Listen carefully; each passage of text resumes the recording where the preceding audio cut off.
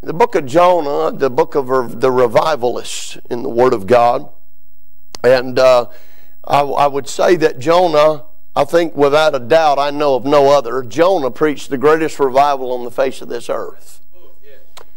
No man preached and had the success, if you will, or the, uh, the result that Jonah had.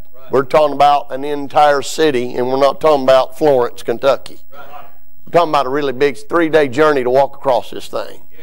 There's hundreds of thousands of people in this city, and they all they all went into sackcloth and ashes before. In fact, they put their cows in sackcloth. They put their parakeets in sackcloth and ashes. I'm talking about a show enough one day sermon revival happened to the city of Nineveh. I want to read out this verse here and then we'll pray. In verse number uh, 2 of chapter 1, God comes to Jonah and says, Arise, go to Nineveh, that great city, and cry against it, for their wickedness has come up before me. Father, I pray you speak to our hearts tonight. Lord, we need you. God, draw us into thy presence like we haven't been in a while, Father. Lord, speak to every child of God. Lord, if there's someone lost listening, draw them unto salvation, I pray, even tonight. Uh, Lord God, that they would be saved. Father, I raise my hands to thee and bless thee. You're worthy, God, of praise and honor and glory at all times. But I praise you in the congregation of the righteous tonight in Jesus' name. Amen. Revival is the intervention of God in the heart of a single human being or a nation. A study of historical revival leads one to recognize that revival is the greatest miracle of all. Without the intervention of God, there would be no life. Without the intervention of God, there would be no living, no vitality, no Christianity on the face of this earth. The mighty revival in Nineveh is recorded in uh, in uh, in the in the chapter of number three, in verse four and five. How that uh, Jonah began to preach into this city here. He entered in a day's journey, and he cried and said, "Yet forty days, and Nineveh shall be overthrown." So the people of Nineveh believed God and proclaimed a fast and put on sackcloth from the greatest of them, uh, even to the least of them. When revival came came, it shook them up to realize they're living a dead life. They're living a life of sin. And they crumbled before Almighty God and pleaded for His mercy. And God gave them mercy for what, 100, 150 years because revival came to them. Andrew Murray wrote this a true revival means nothing less than a revolution casting out the spirit of worldliness, making God's love triumph in one's heart. Boy, don't we need God's love like never before in our hearts. According to Martin and Lloyd Jones, a revival means days of heaven on earth. it's not a bad thing.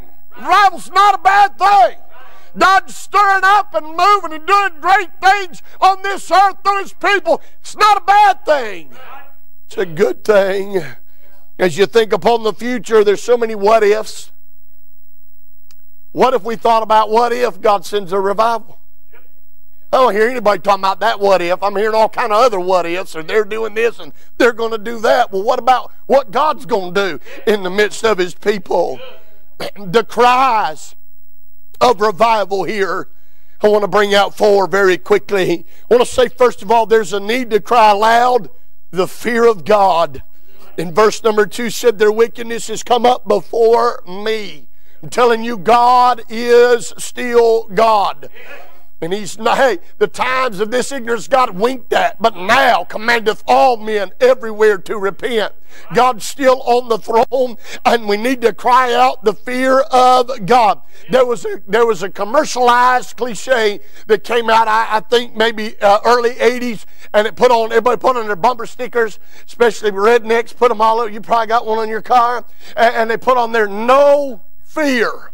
And uh, that got into the, I really do believe it got into the psyche of the children being raised And now we got a generation that has no fear of God whatsoever. But I'm telling you, we need to fear God. Uh, it, it is imperative that humanity fear God. They're going to push it till one day God's going to pour his wrath out on this earth and it ain't going to be a party. I mean, it's talking about the grapes of wrath trampled. I'm talking about blood spilled everywhere when God gets fed up with being irreverenced by the human race. There ought to be a cry among us for the fear of God. Proverbs chapter 9, verse 10 the fear of the Lord is the beginning of wisdom. They talk about science, science, science. Believe the science. Well, I tell you, you won't know nothing yet until first you come to the place where you fear the Almighty Creator God that created the science that you're studying. There ought to be a healthy fear of God among God's people. And in that healthy fear of God, we cry out to the world the fear of God. Our cry to exclaim against by way of reproof. It's not okay to act like there is no God. The fool has said in his heart, There is no God. It's not okay for this world to try to stamp God out. It, it, listen, and they won't be able to. I understand that, but they think they have. They think they are going to legislate God out, and it's not okay. There needs it takes a healthy fear of God upon the human race for the human race to operate right. We need Christians who'll sound the alarm, the fear of God before the world. This is a heathenistic nation. This is a God unconscious Gentile nation. These people didn't even know God. Yet God called them into judgment before Him. God help us get the word out to the lost and dying world that's been taught there is no God, been taught to defame God. It don't matter whether they know God or not. The Bible said they'll stand before God in judgment. Hey, listen, they'll die one day and stand before God. And after this, the judgment, they're going to have to give an account. We need to cry out as God's people. Fear the Lord! Fear the Lord! Fear the Lord God Almighty! Stephen Olford said this revival is an invasion from heaven that brings a conscious awareness of God upon this earth.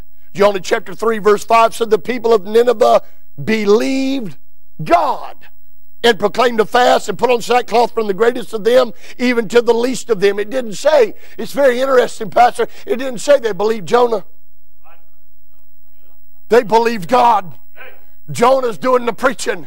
Thank God for the Holy Spirit of God doing the convicting in people's lives as we declare to them the greatness and the mightiness and the holiness and the righteousness of the Almighty God. And God begins to speak into their heart and they believe God. Listen, uh, the world needs to hear from God, but we're the ones that ignite that in their ears. We need to cry aloud the fear of the Lord. Let me say, number two, there's a need that we cry over sinful sinners. The Bible said in verse number two, their wickedness. We need to cry over sinful sinners. Not, I, we, we, we take a person and we make them one with their sin and then we hate them.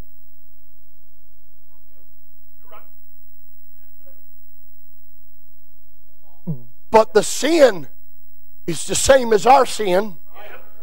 It's wickedness before Almighty God. But the sinner is a soul. And that soul needs Jesus Christ. And it's easy. It's easy when wickedness raises up its head. Boy, you hear, hear the news and all that. Before you know it, you hating everybody on the news. You're hating every every politician. You're hating them all There's a sinner right there that needs the Lord Jesus Christ. What if God saved them? Hey, you don't know. What if the people of God got so brokenhearted over sinners in this country that we cry out for sinners? Needs to be a cry for the sinful sinners. God, forgive us for taking a stance of self righteousness and boxing ourselves into our walls and just saying, Jesus, please come take us home. It's wicked out there. And God said, Get out there. Love the sinner for me. Get out there. Shine the light to the sinner for me. Need to cry for the sinfulness of the sinners. Their wickedness is coming up before the Lord God Almighty. And that ain't a good thing for any human being. To cry, to utter a loud sound in distress. Oh, dear sinner, stop your ways. Not blasting them, not calling them derogatory names. Why would they listen to us after we just sat there and called them derogatory names? But to cry out in distress at them, sinner, stop. Sinner, stop. You need to come to the Lord God Almighty. The people of Nineveh were some of the most horrible, wicked people that have ever walked the face of this earth. They did terrible things to their prisoners of war. They would rape the women. They would murder the children and the babies just for the fun of it. They would take the men and skin them alive. Then they would cut off their heads and build pyramids with their skulls as so to say, We conquered this city. I'm talking about an arrogant people, a prideful people. But when the man of God come in with the word of the Lord, they heard God and they fell on their their face before God and repented of their sin. God help us to cry over sinful sinners. Thank God for His mercy. You shouldn't have got in. Who are we to decide anybody can't get in? We shouldn't have got in. We didn't deserve to hear the gospel. Hallelujah. The preacher preaches. He don't have the power to change lives, but God sure can. If we just get the message out with kindness, the message out with the charity of Christ, the love of God, with a broken hearted over sinners, instead of some kind of hated, hatred, anger, wrath filled, righteous indignation. God, break our heart for sinners tonight. The heathen are dying and going to hell, and it's easy to say, let God destroy them. They've filleted the skin off of live men, they've taken babies and run swords through them just for pleasure. Let them die and go to hell. But I'm telling you, that's not the heart of God. God said He's not willing that any should perish. Thank God tonight. Let's cry for sinful sinners. God, break our hearts. Stephen Olford said this Revival restrains the righteous anger of God, restores the conscious awareness of God, and reveals the gracious activity of God. That's what revival is. That's what revival is the gracious activity of God. It's not God railroading them before our eyes and us do like the sons of Zebedee and watch God burn them all up. That's not revival. That's not the right heart of the church, not the right heart of God's people. Revival is watching God do gracious activity among this world, among the lost. I'm going to want to say number three there's a needed cry for the faith of the saints. Let me show you this. The Bible said in verse number three, but Jonah rose up to flee. Jonah didn't want to. There's a lot of saints right there tonight. They say, statistics say, since quarantine of March of last year, 18 months out, whatever that'll be, you do it, it's things before the end of this year. They say one in three churches will close, and two in five Christians will no longer identify as, as a Christian. Jonah didn't want to go. Jonah didn't want to rise up to the occasion. In Sunday school, he brought out how that Daniel and the three Hebrews stood above everybody else, but everybody else that Israel could have stood up too and made, made a big splash for the Lord, but ain't before of them in the book of Daniel. Jonah didn't want to. How many Christians tonight are not rising up in Christ and not rising up in victory? They sang, they sang living by faith until 2020 came and they had to live by faith and then they didn't want to do it. Jonah didn't want to do this. And we need to cry, listen, we need to cry for the faith of the saints. This burdens my heart like nothing else I preach. The Bible said Jesus posed the question when the Son of Man cometh, will he find faith? It's a negative connotated question. It is indicating he's not going to find any faith or he won't find much at all. Don't you want to be one of the ones in faith? Don't you want to be one of the ones in the final remnant, if you will? When Jesus comes and gets his bride, uh, listen, tonight it ought to break our heart when we see a saint uh, that's lost faith, doesn't want to get up and doesn't want to go and doesn't want to rise up. Don't kick them when they're down. God help. Get brokenhearted over it. We need to cry over the faith of the saints. I want you to notice there's a distinction I thought of on the way to church here tonight.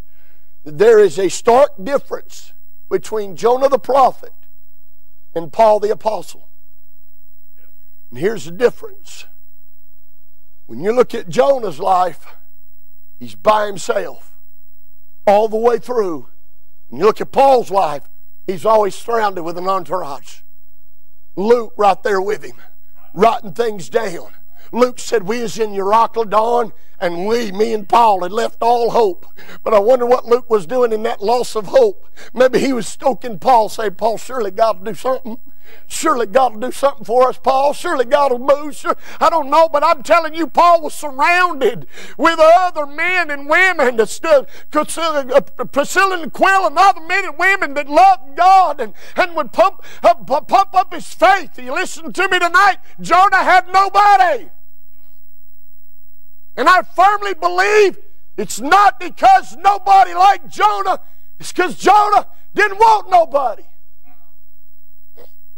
You close yourself up in your living room and draw your curtains closed and shut out the, the church and shut out the saints of God. It's no wonder you won't want to. It's no wonder you won't have any faith. We need each other.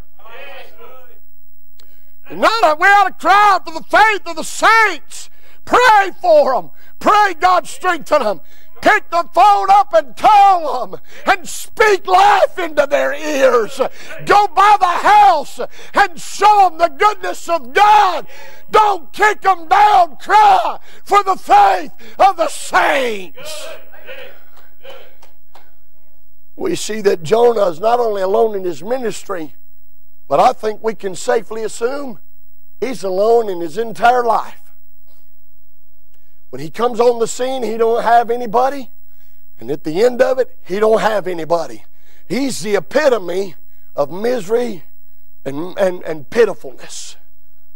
Just, you close out the book of Jonah in a dark corner. Jonah was alone in his efforts for God. He was alone in his, if you will, Christianity. He was alone in living his life. We cannot live our life by ourselves. We cannot live for God by ourselves. God never meant for that. It won't work that way. I, I, some of the stupid stuff they put out last year about uh, the, uh, you are the church. No, I ain't the church. I'm one little old individual saying to God that needs to gather with the church. I need the saints. I need Christians around me. I need others to speak life into me and encourage me. We need one another. Hey, it just breaks my heart. I'm telling you, as an evangelist. It breaks my heart to see the lack of faith going on in God's people. And to cry for the faith the saints of God. Christians need to rise up in victory. You need to not look at these times as though things have changed with God because they have not. They don't need to look at these times as though the church now gets prevailed upon by hell because it does not. We need to have faith, children of God. Get you back to trusting God. Get you back to trusting God.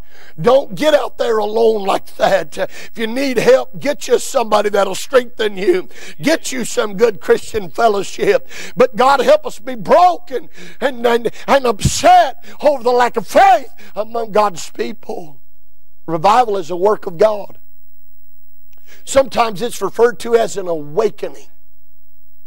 Because in a revival, people are awakened afresh to who God is and what He would have them do with their lives.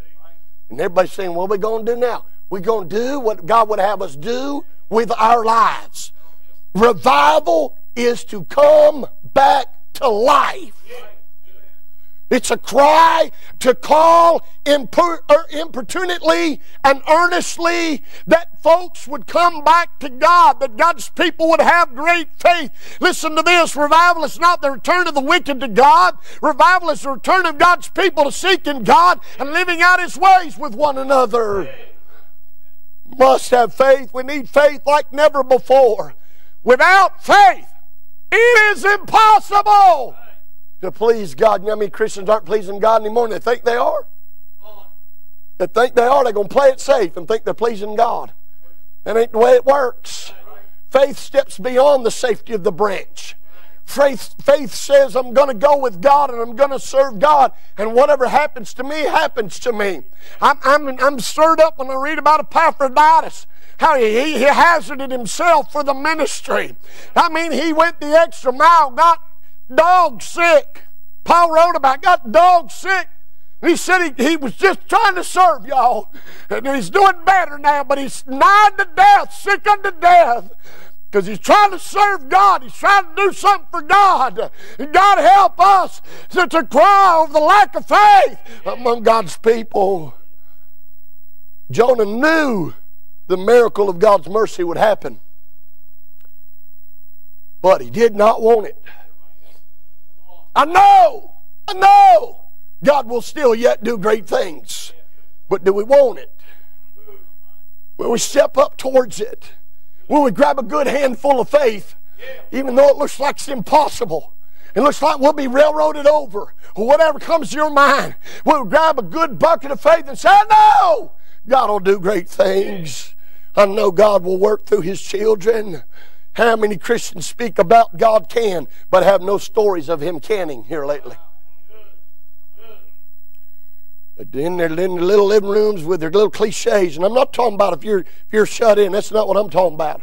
I'm talking about seeing God's people sh- shirk back from standing for God. And I'm not talking about arrogance neither. I'm talking about being the light. We're supposed to be the salt. We're supposed to make this thing taste good. Not, not them look at us and say, we don't want none of what you're preaching and saying and your attitude and your spirit. That ain't the way this works. Jonah knew the miracles God would have. He didn't want them. We must be operating in faith. We must. We must. We must be living by faith. The faith of the saints, say it like this, I'm seeing it, is waning. Near about every pastor last year, with maybe one or two exceptions, said he's seeing 50 to 70% of his church come back. 50 to 70%. Faith is waning.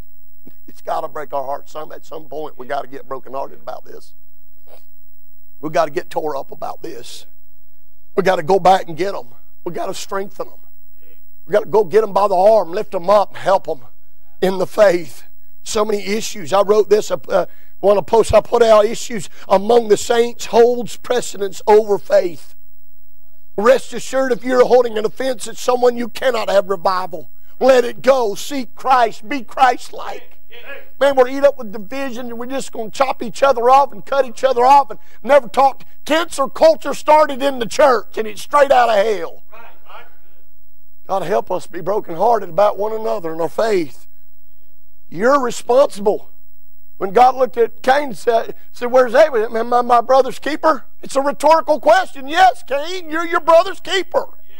I created the human race to be intertwined. You're, you're your brother's keeper. Come to the New Testament, Paul said, No man liveth unto himself, and no man dieth unto himself. We're responsible for one another. We can't be like Jonah and just live like we want in our little closed corner. We got to listen. We got to encourage one another. I got to help your faith. You got to help my faith. Cry out for the lack of faith among God's people. But then let me give you this. There's a, there's a desperate need to cry out to God. Look, if you would, in chapter 3 a desperate need that we would cry out to God in chapter 3, verse 8. But let man and beast be covered with sackcloth and cry mightily unto God. And let them turn every one from his evil way and from the violence that is in their hands. This king heard the message Jonah never got to him. I don't know how the message got to him. I don't know if they shortwave radioed it to him. I don't know what they did, but it got to the palace. Within the first day, it got to the palace. And the king said, We need to cry out My, Don't just cry. We need to cry out mightily. In other words, here's what I'm telling you all, all the subjects of the kingdom. I'm not talking about throwing up a little prayer, God help us. I'm not talking about uh, throwing up a little two and a half second, God help our country. He said, I'm talking about get your sackcloth out, walk out into the field and clothe your cattle with it. Get some ashes and pour it on them. Do it to every beast in your home. Do it to every person in your home uh, and cry out mightily unto God. We have a desperate need these days to cry out to God mightily. Oh, how we need God. I think we don't think we need Him because we got a stimulus or two and everything's good. So I guess He might have to let it go a little farther on us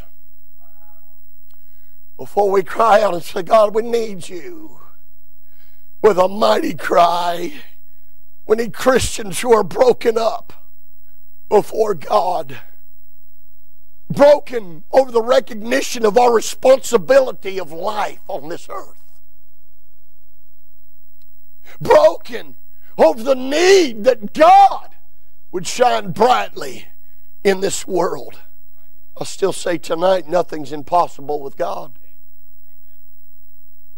In Jonah chapter 3, we see the demonstration of God's grace to a group of people who did not deserve it. There's no telling what God will do if his people cry, to cry, to utter a loud voice in weeping, to utter the voice of sorrow and lamenting. Another Webster's 1828 definition is to bawl, to cry like a child. When's the last time you crawled in your closet and just cried before God? Maybe cried over your own shape, but just cried before God. Cry over the shape of the faith of the saints. Cry over the way God is being defaced by this world. Cry that the light of Christ that is collective among the children of God would shine like a bright candle for His glory. In chapter 3, Jonah got a second chance. Aren't you glad God gives second chances? Somebody preached he's a God of first and second chances. It really is. That's a little shallow. He's a God of life. You've had you've had a half dozen plus yourself already in chances. He's a God of life, and Jonah got a second chance. I think that's where we're at. Well, if we would see it, we'd grab hold of it. There's no telling what God would do with some children of God. Grab hold of it with God and cry mightily with God. Lydia said four years ago, she said, Well, if, if, if God's given us a space of grace, what do we do with it? I didn't answer fast enough. She answered better than me and quicker than me. She said, We get to getting the gospel out across America.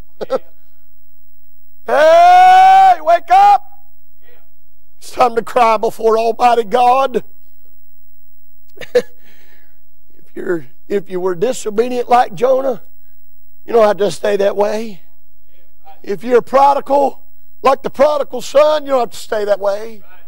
I don't care how bad you messed up. God's a merciful God. Cry out to God. Come back to God. Boy, we need to call people back to God like never before. Listen, Jonah comes in here and he preaches, and people just just start crying out mighty to God, and God moves on behalf of one of the most heathenistic people on the face of this earth. What do you think He'll do for you, child of God? Nothing further from the truth than to say that God is done with his children. Come back to God, cry out to God. Lady, come on, let me wrap this up. I want you to notice this. Let me, let me bring a couple things. I've been long enough. Let me, let me get done.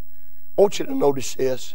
In chapter 3, the Bible said in verse number 2, God said, Arise, go unto Nineveh. Now, the way we would read it is this Arise and go, Jonah. But that's not the way God said it. Because the word and gives a space of time. He said, Arise, go. That quick. Arise, go. I'm reminded when he came to Abram, Abraham and told him to take Isaac up on the mountain. Told him the night before, he said he rose up early in the morning. He got after it. Hey, it's time to get after it. It's time to get going with everything. I mean, fire up all eight cylinders of your Christian engine of your love for God and put it to the floor, metal to the pedal to the metal. Get moving, get going, get doing, get crying out for God. You got sinners in your life that ain't nobody gonna love but you. Take some love of God to them in the morning. Hey, you got saints around you. You know they're they're depleted in their faith. You know that they're just uh, uh, they're just uh, sunk down in despair. And go fire them up for God. There might be somebody you know that's no longer in the house of God. They messed up. They're probably out there thinking God don't want no part of me. They're probably like Pete, thinking God don't want no part of me. But Jesus pulled them to the fire and said, Do you love me, Peter? Go out there and get them. Go get them. Want to fill the church up? We could overfill the church with the broken saints of God if we just go get them. And then God help us quit hating a sinner.